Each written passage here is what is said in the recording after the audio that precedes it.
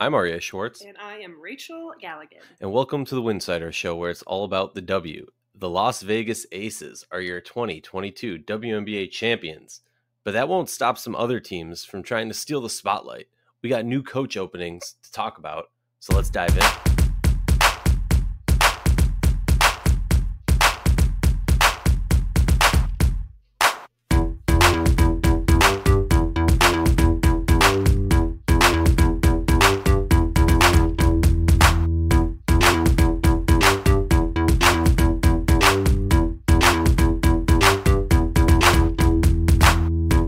Like our show, please consider joining our Patreon community. It's patreon.com backslash winsidr. Again, that's patreon.com backslash winsidr.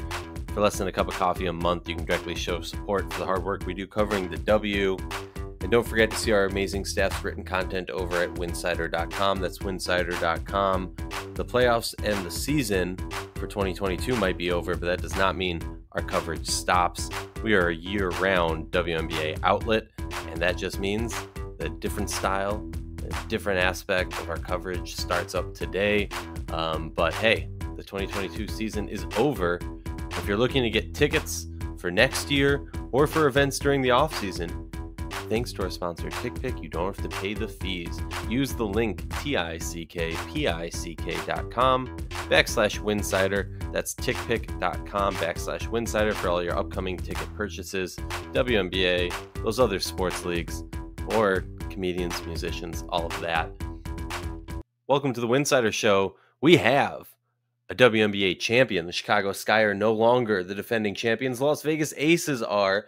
Let's start it off with just a huge congratulations to the whole organization. Um, a, a, a team that what joined Las Vegas five years ago. Just to see the turnaround of this organization, this franchise has been amazing. Um, me personally, I'm just so happy to see the hard work that we've seen from Chelsea Gray, uh, Kelsey Plum, A'ja, Jackie. I mean, just a historic season for those players. Shout out to Dearica Hamby. Um, and yeah, I mean, just just a, a crazy whirlwind of a, a game four. Um, Rachel, thoughts? Just really um, want to echo that. I mean, just really impressed with just the organization as a whole. Shout out to Bill Laimbeer, Dan Padover. I mean, I mean, everybody in the front office who, who's kind of gotten this franchise to where it's at and the passing of the baton um, in the off season with Becky Hammon being able to come in and take over. I mean, I just kept thinking to myself, and I've already thought this multiple times, but it's like, man, this Las, Las Vegas is sorry, Pickle is agreeing with me very much. Las Vegas has really, you know, pushed the envelope. They've really set the bar high. You know, like, like I don't know if it's setting the bar high or if it's just continuing to elevate, you know, and, and if I'm another franchise in this league, if I'm another expansion team that's considering, you know, jumping into this and, and, and okay, this is, this is what it, this is the blueprint, you know what I'm saying? I mean, this is what it's got to look like. It, it, it no longer can look like some of these other organizations in the league we'll talk about here in a little bit mm-hmm. i think you know in terms of ownership and investment and just everything that is being poured into this franchise i mean that's they're the pinnacle of it in my mind i mean and it's not just from a talent perspective it's just from everything the city the organization the ownership is pouring into it um, and look how quickly they were able to get that done. I mean, it's just it's just top top tier across the board. Um, and you know, Las Vegas alone is single handedly pushing the WNBA to be better. It's holding these other counterparts to be better, to elevate their game. Yeah, no, totally. I mean, I, will I'll clarify what Rachel's saying for our listeners. She's not saying play horribly like they were in San Antonio, so you get a bunch of first round for number one picks, uh, and then many years later win a championship. What she's saying is, from the franchise perspective, the way that they've put the players and the organization first, said, "Hey, we're holding this team." I don't care if the league's not going to do this. I don't care if other teams aren't going to do this. We're holding this team to the standard of professional sports team. Um, and you got to give a lot of respect, a lot of love um, to the ownership, to the people in charge. Um, and like you said, and honestly, uh, I know Bill Laimbeer's been getting a lot of shout out, but Dan Padover, the person who was so much uh, instrumental in building this team to what it is and where they are today. Uh, now, currently serving as GM over in Atlanta, and already seen a shift there. Um, real quick, I want to remind everyone the 2022 WNBA champion champions merch is out. rep the 2022 champions. And thanks to the folks at Homage and BreakingT, they already got it out. I mean, that stuff, what, the designs were ready. They were waiting for it. Um, I got to see the, both designs a little bit early, and it was really cool to see that. Use the link for Homage, H O M A G E dot S J V dot I O backslash Winsidr. That's H O M A G E dot S J V dot I O backslash Winsidr. And for BreakingT, it's simple breakingt.com backslash Winsidr. It's breaking the letter T.com backslash Winsidr. And we'll throw those in the show notes. Um, we'd be remiss if we didn't talk about game four a little bit, break it down a little bit. Um, from my perspective, and I had to, I, if you live under a rock or you don't listen to our podcast or whatever, uh, second year in a row was unable to watch game four live. And I knew once it, once the uh, schedule came out that the season would be ending uh, uh in game four. I, I, it's just how it works. Um, so I've rewatched, I watched the, the, the fourth quarter um, on a horrible, horrible Wi-Fi stream everything was cutting up and Rachel was kind enough to keep me updated. Um, but I rewatched it later last night and a little bit more this morning. And and and I'm curious your thoughts on this, Rachel, because to me it was like a very, very similar game to game one where Connecticut had all the chances to win it and they just kept shooting themselves in the foot. And that's not to take away from what the aces did. I mean, great teams find ways to win. Um, the aces took advantage of the 50-50 balls. They took advantage of their opportunities um, and they really, you know, carpe diem, seize the day. Um, for me, it, that I mean, that's what I look at. I, I look at Chelsea or Courtney Williams, sorry, getting 18 shots. That's not a recipe to win. Having yeah. more shots from those two players um, versus your your your legit MVP and your team MVP, if you want to call it that, Alyssa Thomas. Um, so just you know, a lot of intriguing aspects to this game, but I mean Chelsea Gray and and Riquna Williams just really stepping up, having ridiculous games. I'm curious for you as somebody who was watching and kind of for me it was easy, right? You're not going through the emotions of it. Um, but I'm curious for you. You know, I was just I mean, it, it was not the prettiest game Las Vegas had played. You know, this was not the prettiest series Las Vegas had played. You know, you have to give credit to Connecticut and just how um, you know, disruptive they can be and, and the way that they, they make the game look at certain times. Um, but Las Vegas found a way. And, and I, to echo your point about Riquna Williams, I mean, I've always been a huge fan of Riquna Williams, and I, I love, you know, what she was able to do in LA at times and just the, her ability to score. Um, I mean, we know, we know, anyone who's followed the league for a few amount of years knows that you know, that's a player who, given the opportunity, given given the given the chances, given the shot, given the shots, can put up 25 plus. Um, and that's you know not exactly her role this year. Hasn't been her role with Las Vegas. Hasn't needed to be. Her role has been more so. You've got to be a spark off the bench. You've got to give us serviceable minutes. Come in and give us, you know, six to ten, whatever that might be. Um, but it was really cool to see her, you know, have her best game of the season in a game where where you know A'ja Wilson was struggling. Kelsey Plum, you know, she finished five for twelve, and not not a horrible night from Plum, but like you know, it wasn't like the starters were dominant. Jackie Young, four of fourteen. So you know, they're they're they're starting five. You know, they're, they're three headed monster, if you will, that you know averages ninety percent of their points. You know, it was really it, it was a grind for them to get their buckets and to get their to get their opportunities, and so it was really. Um, and obviously Chelsea Gray, I mean, she was great but I'm talking about Jackie Young, A'ja Wilson, and Kelsey Plum kind of having just average, below average, um, just offensive, you know, afternoons. So Riquna Williams to come in and do what she did, finish five for nine from the three point line. I mean, it was just really, really, um, it was great to see that, see her step up in that moment, um, really seize this opportunity to, to secure this. Because if Riquna Williams doesn't do what she does, I, I don't know that this outcome is what it is. And I, I agree. It was very reminiscent of Game One from from Connecticut's perspective, and also Las Vegas. I mean, you know, this is a team that averaged 90 points a game. Now, Game One, they I think it was like in the 60s, something like that. But you know, they end up scoring 78. But you know, you hold them well below their average. You know, you've got you've got their their three four headed monster. You know, struggling at times to score. But again, Connecticut just only able to put 71 on the board. Um, it just felt like a missed opportunity. It felt like there were two games in this series, in this four game series, that can easily could have gone. Well, put it put it this way, Rachel. You were talking about the yeah. Aces' average scoring. There was only one game this series that the Aces scored above eighty, and I think that's mind blowing to me. And while you can, if you're and and look, there's two sides to each coin, right? If you're viewing it from Connecticut's side, you're saying we went into this series knowing the only way we could win is if we mucked it up and if we really threw Las Vegas off their game, really just completely, you know, just frustrated. And and and I think if you're Connecticut, if you look back at this series, you go, we did what we needed to do to win in the sense of the style of the series that it was and how the series kind of laid out. They just didn't make shots when they needed to. Mm. They didn't convert when they needed to, and they made uh, the nicest way I can put it some boneheaded mistakes when they shouldn't have. On the Aces side, you got to be ecstatic because going into the series, you know what they're going to try and do, right? Like there's only one recipe for success uh, besides Jonquel Jones just having an insane series.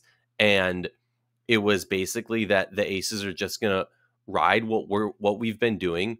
Hope Riquna or Hamby can provide a little something off the bench, um, and just ride the the Chelsea Gray wave, which has been undeniably unbeatable, historic, epic, and legendary this playoffs. And the Aces found each game like it. It very much so looked like the Aces approached each game as a series in its own, whereas the Sun didn't necessarily have that mentality. Like the Aces went into each game saying, it doesn't matter what the series score is. It doesn't matter what's gone on at any other point. All that matters is we find a way.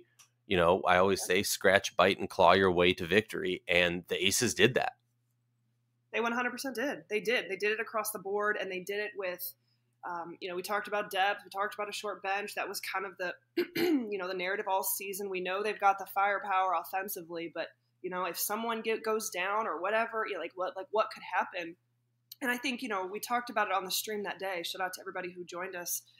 Um, it, you have to have so much luck as well. You know, obviously this team, I think, I personally think, and I, I know you kind of agree, has the potential for to run it back, to the potential of a quote unquote, again, potential is the key word, dynasty, um, depending on the kind of moves that happen in the free agency. But you have to have luck when you're talking about these things. Everybody was in phenomenal shape this season. Everybody put in so much work in the offseason to take care of their bodies, to get themselves to be able to play 38, 40 minutes a game with a short bench and a limited, you know, it was like everyone's goal was to get into the Las Vegas Aces bench. And if you could do that, then you had a shot. And I wasn't sure you know if what they were working with could could sustain an entire course of a season and it did you know and that that was really amazing to see. It was amazing to see um, how consistent this team was across the board and and it, it, you know it wasn't like it wasn't like it was it was a super team in terms of the the starting five but like after that it was like oh this is scary. So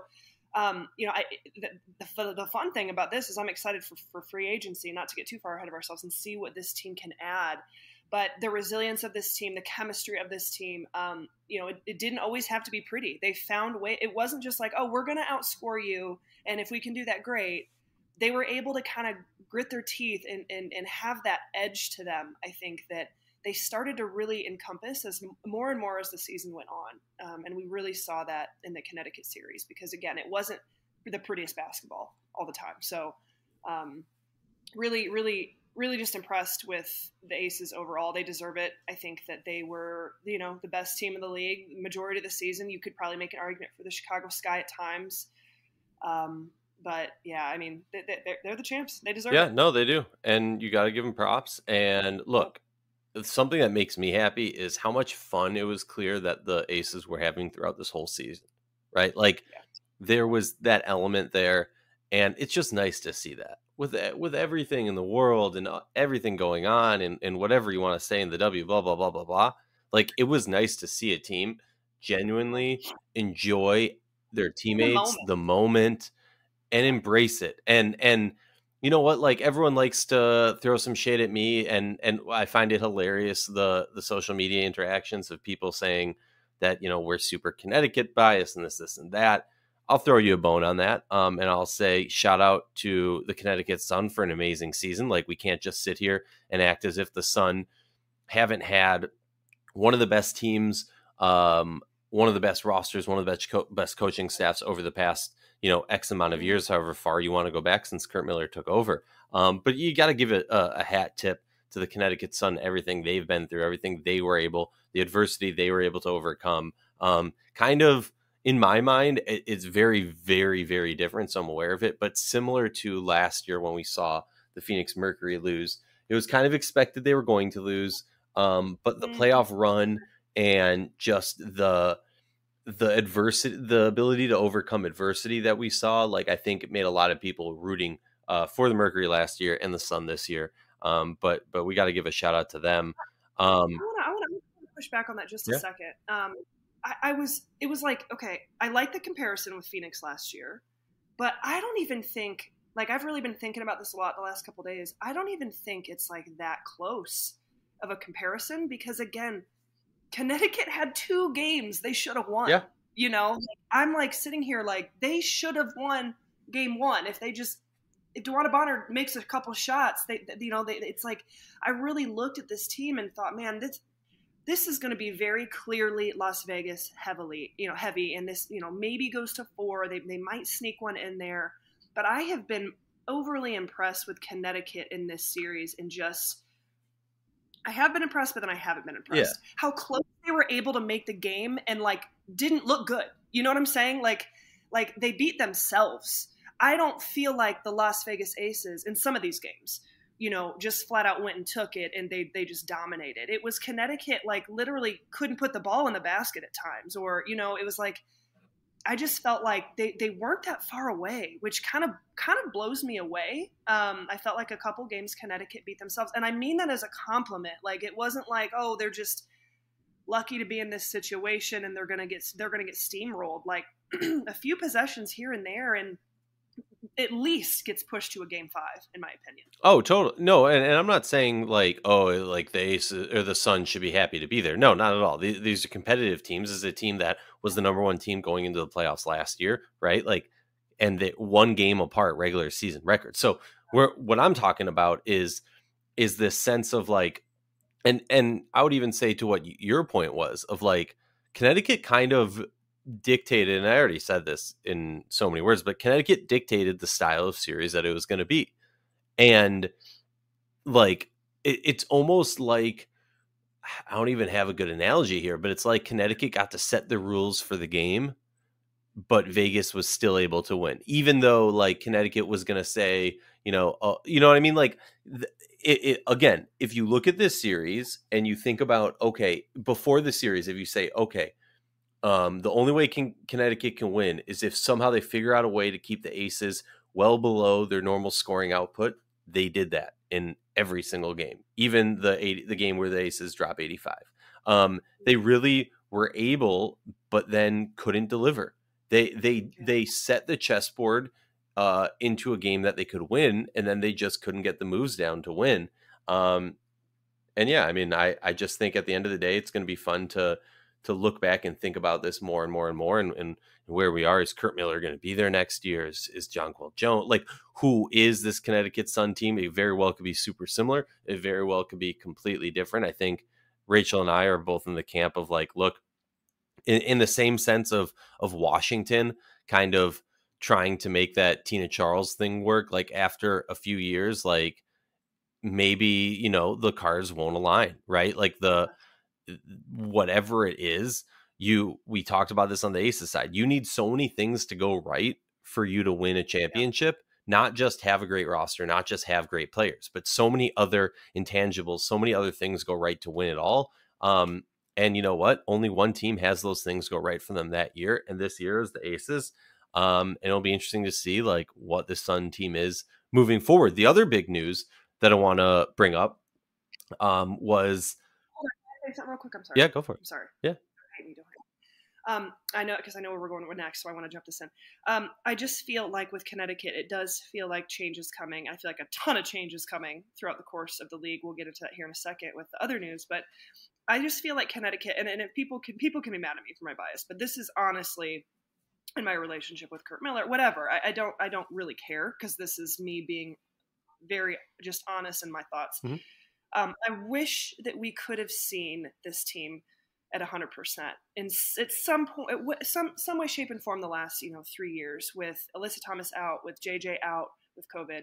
Um, I, I, will, I will always wonder you know what could this team look like at a complete 100% again that luck factor of having everybody healthy and, and, and the makeup of this roster the vision of this roster that you know the gm of curt miller had put together uh, we never got to see that, and I think it's really interesting to note this is a this is a franchise that has never had a number a number one pick. Like they've done what they've done without a number one pick, and I think that that is really interesting to analyze. I know we talk about Jonquel's MVP, love it. You know, should the ball be ran through her more? We could have that debate time and time again, but I just want to you know give my I, I get the sense it's an end of an era, an end of a chapter in Connecticut. Maybe I'm wrong. I don't know.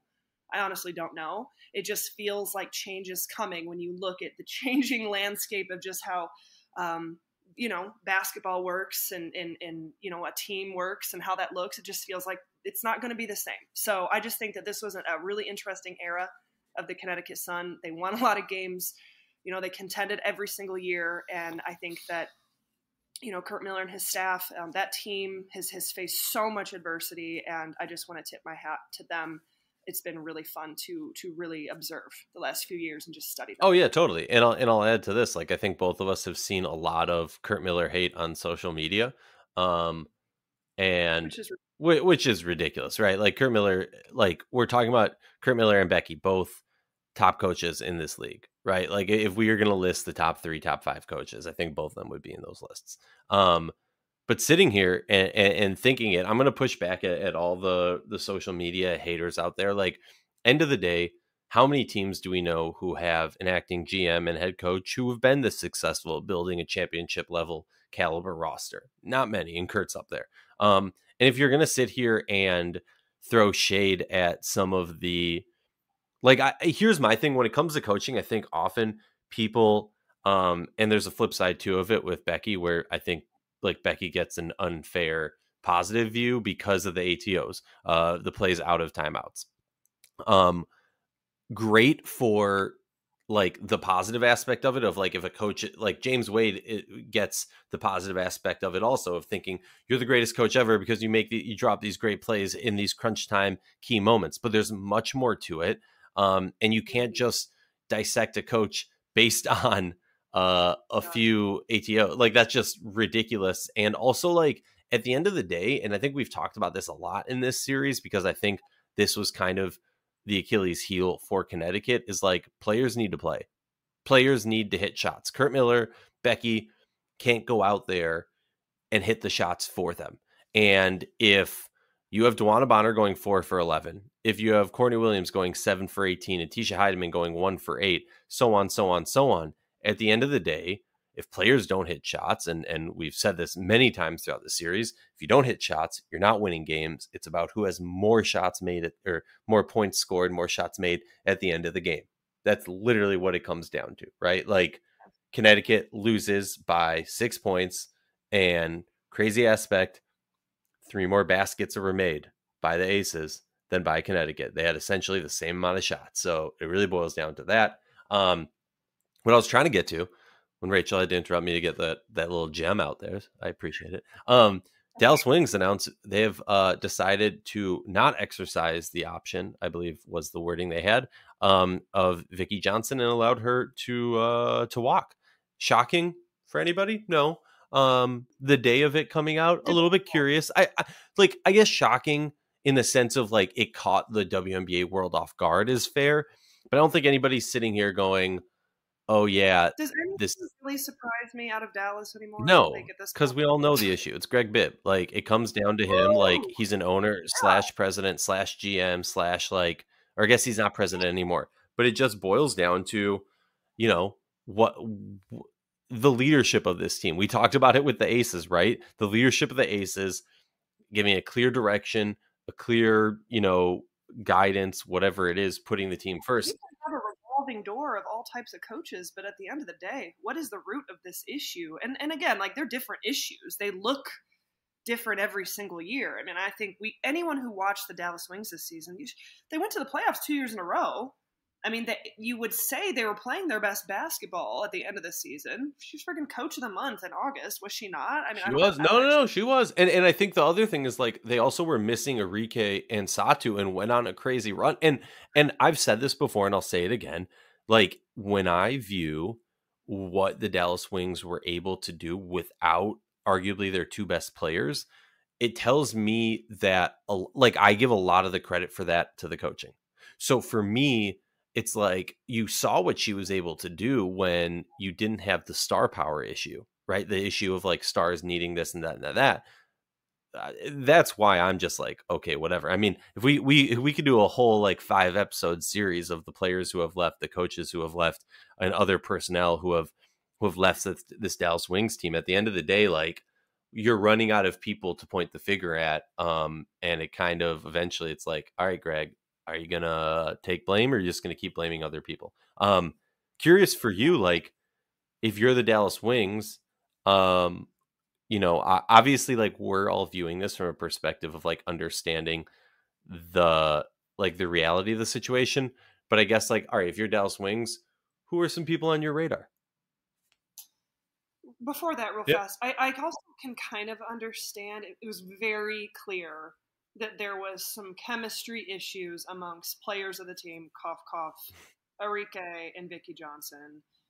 You know, and, and, and I don't know what that looks like. I don't know what that means. You could just pick up on it as a, just a casual viewer at that point. Oh yeah. Um, so from Greg Bibbs' perspective, you know, if you're just trying to find a way, this is your franchise player. This is this is the makeup of your team. You're just trying to find that right um, that for that right leader, you know, who who meshes with this team, who can mesh with this team the way Becky Hammon meshed with the Las Vegas Aces, you know, and and I think that's kind of that's got to be the goal, that's got to be the vision. Easier said than done, you know, because I think that you could definitely make an argument that this is this is a really questionable decision given, you know, just what Vickie Johnson had done the last couple of years and just so I mean, I think that VJ will be fine. She's she should I would think have opportunities at other at other. I mean, because this this is just one domino of a carousel that is, I, I, my opinion, is going to be crazy this off season. So, um, you know, I, hopefully it's it's a great new chapter for her um, because I think that she does have potential to to you know continue to to be a head coach in this league and and, and work with a team that you know, maybe even build a team up that you know might might make a little more sense than kind of what was from a chemistry perspective, not really clicking fully mm-hmm. in Dallas.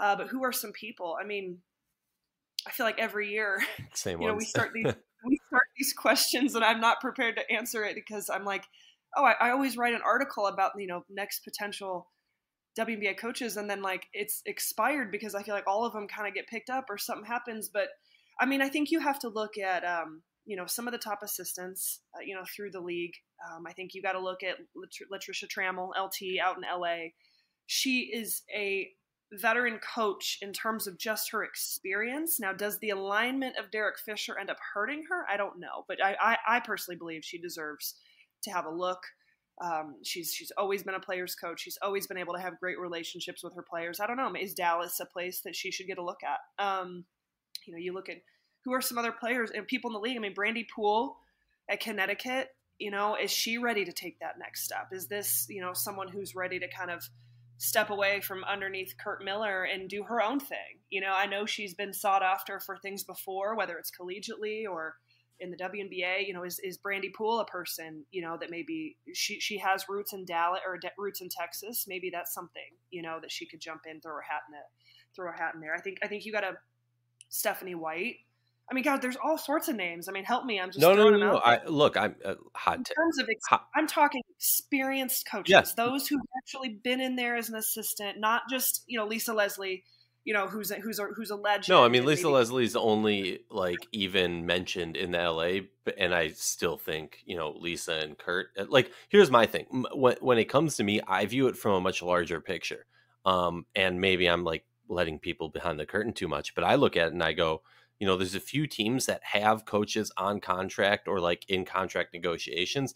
And I question, okay, are we going to see them in that same situation? Right. So I look at Noelle Quinn in, in Seattle, where there is clearly a changing of the guards with Sue Bird gone.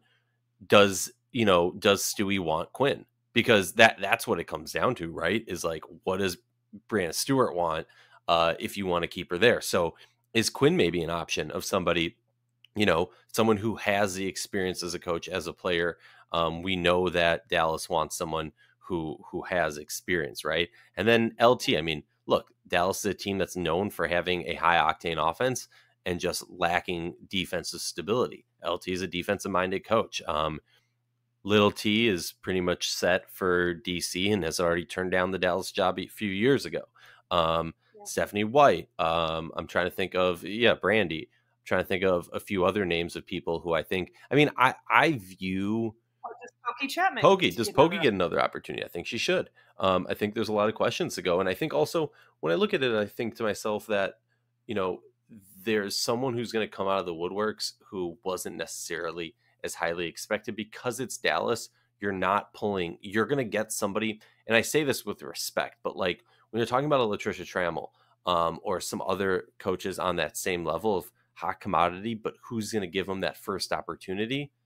I think mm-hmm. y- you have to think with Dallas, it's they're no longer in the market to be able to pull a Brian Agler, right? They're not in the market to pull, you know, a Becky or a Lisa Leslie. They're in the market where they can pull somebody who isn't the most high profile name, but has a lot of upside to them and could possibly shift this franchise around. Um, but I hope you get along with Greg Bibb because if not, that's my you know, is because I think I I mean I I mean Dallas is an exciting you know dynamic right now in terms of just the market the players, the, the makeup of this roster, that how ag- aggressive at times they can be, and this is a big this is a big off season for them. Um, so like from that standpoint, it's it's intriguing. I mean, you get a chance to try and gel with Arike and, and, and figure out like what what is this, but but at the same time, like I, if I if I'm a coach, I'm like shit. Do I want to go take this opportunity mm-hmm. and like I guess you go into it thinking, hey, I get two years, you know, and and like I'm probably going to be done after that because that's just what Greg Bibb does. And I'm going to get two years. I'm going to get my foot in the door. These opportunities don't hardly ever come by. So you have to take those opportunities as they come and just believe in yourself and go in there and just do the best you can. But at some point, it's kind of like, shit, I don't, I don't know if I want to go work under Greg Bibb. Oh, totally. You know, like, like a red flag. It's a huge red flag. Huge red flag. And and and I'll add to that. Like, yeah, you definitely take your opportunities. There's a a lot of positive sides to this. There's a lot of negative sides to us. Um, and, and, and look, we got a whole off season. Winsidr ain't going nowhere. We got great WNBA coverage all off season. We're gonna be doing get playback. Uh, I don't know why I said get playback. That's the link. Getplayback.com backslash room backslash winsidr. We're gonna be doing some streams for college games, so Rachel can finally pull me into that. We're gonna be doing some overseas games, so you can follow your favorite WNBA players overseas.